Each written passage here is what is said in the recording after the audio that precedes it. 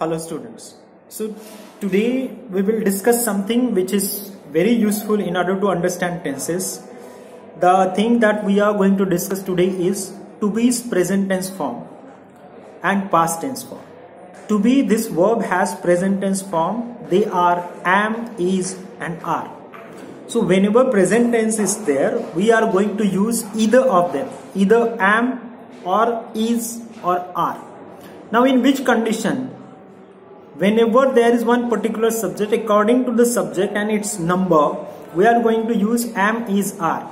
And as I said the condition is that in present tense it may be simple present tense or it may be present continuous tense we are going to use to be's present tense form.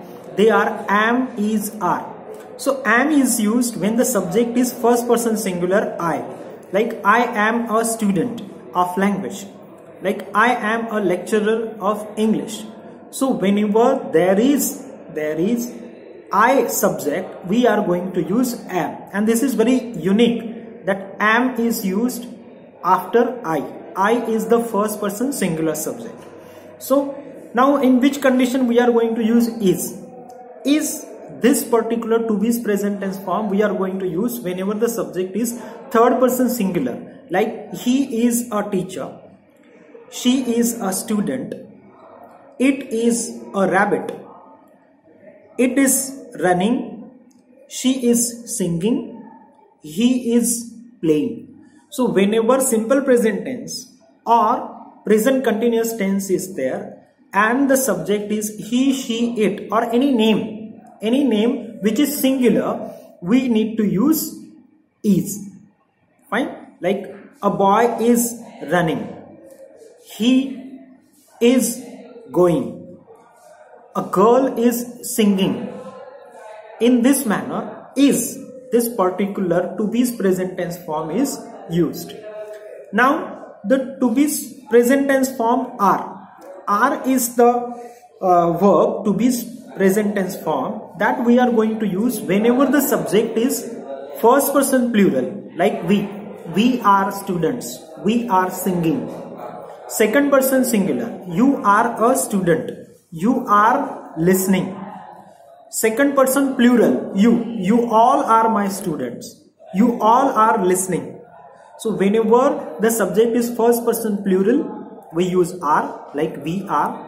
Whenever the uh, subject is first second person singular as well as plural like you or you all, we use are. So you are listening. Similarly, are this particular to be's present tense form is used whenever the subject is third person plural like they are. They are my students. They are creating noise. So boys are listening. Boys are singing. So in this manner to be's present tense form am is are they are used according to the different subjects. I sum up. Am this to be's present tense form is used whenever the subject is i it may be simple present tense like I am a student or it may be present continuous tense like I am teaching.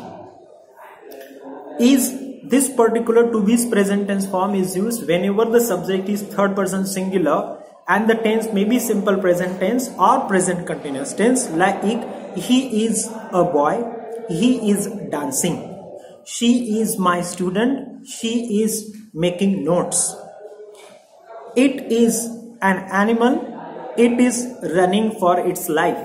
So in this case we use is. Similarly are this particular uh, to be present tense form is used whenever the subject is second plus person plural like we.